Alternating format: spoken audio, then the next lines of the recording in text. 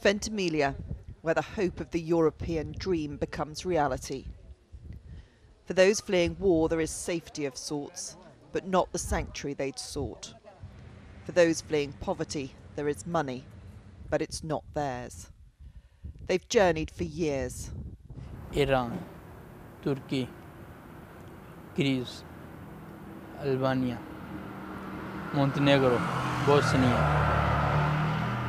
uh, Croatia, Slovenia, to Italy, to France.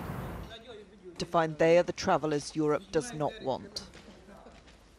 But they've not come this far to be deterred, and so they journey on, convinced the dream Italy didn't provide may lie on French soil or beyond. This is one of the main routes into France. They jump over the wall behind me and walk along the high speed rail line for hours in the hope that French police don't apprehend them on the way. They're used to death being at their heel, but compared to the perils of the boats, the trains don't bring fear. But they do die on these tracks, their journey at an end far before its destination. The moon is friend and enemy. The light aids their passage, but it highlights their presence to the French police who seek to repel them. كنت ماشي مدينة نيس This 23 year old from Darfur told me he walked 90 miles along the tracks before being detained and sent back to Ventimiglia. In the station, those who leave without goodbyes hope to avoid welcome. It's a 10 minute ride into France. Italy, overwhelmed by scale, doesn't barricade its own frontier, but the French do, or try to. They know some of those seeking to cross Europe use these trains as their transport. Merging with those who do have the freedom to travel and the hope that they won't be detected. For some, it works. For many, it does not. And a steady flow find their journeys at an end on the platform. They've reached France. Je sais pas. Je sais pas, on a fui, elle était dans la voiture. but not for long. Il est, il est de l'autre côté. For some, there is still the hope that evasion will provide escape, Il est passé sur la voie de l'autre côté. a hope to outrun those who seek them in the quest to keep pushing on through Europe.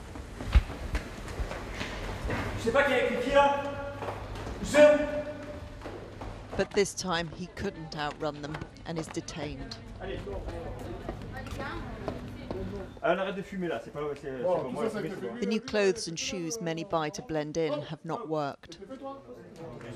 For all those gathered on the platform, Vous avez vraiment un titre de séjour. À la police aux frontières, ils vont passer votre the time in France will be in a cell.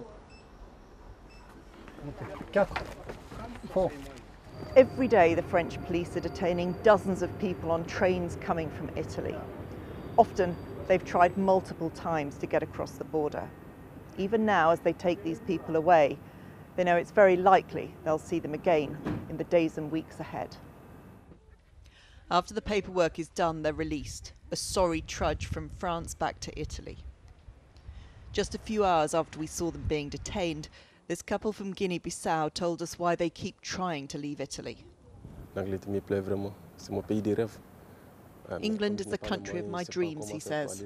I'll keep going, Donc, je suis one step at a time. His partner insists they will try again. We are orphans of land. We have nowhere else, she says. The border is a meeting point of those who have lived through some of the most brutal crises of the century. Mahmoud fled Afghanistan for the West when the West pulled out. He's tried to reach France three times and will again. Afghanistan is a problem, America. America problem. America's problem? Yeah, Taliban. Many have the right to seek asylum, but they're without safe routes or legal options to request which country they wish to reach. I'm Finnish Iran. Fadim used smugglers to flee Iran. He's tried four times to reach France. I'm uh, going to uh, England, United Kingdom. Okay, uh, just uh, Italianum, France, very, very bad. Very, very bad. With translation, he tells me he feared execution back home for taking part in anti government protests. I participated in the uprising of Mahsa Amini one year ago. Like all the people, I was with the people and dissatisfied with this republic that does not respect women's rights at all. There is another route from Italy, across the mountains, known as the Pass of Death. Along a remote path, we found the traces of those who'd taken it, having failed on the trains and tracks. Heading towards the mountain, we met Hilal. Fleeing Afghanistan, he was undeterred by the dangers ahead. The journey you are taking is very dangerous. Afghanistan, uh, Taliban, problem. I Go France, my family, in France.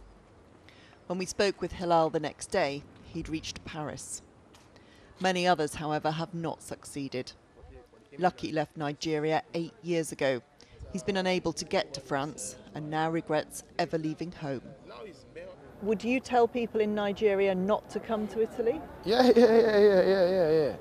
It is better for you to find a nice, maybe a, a, a business and enterprises for living because we have, for us, we have seen the system here.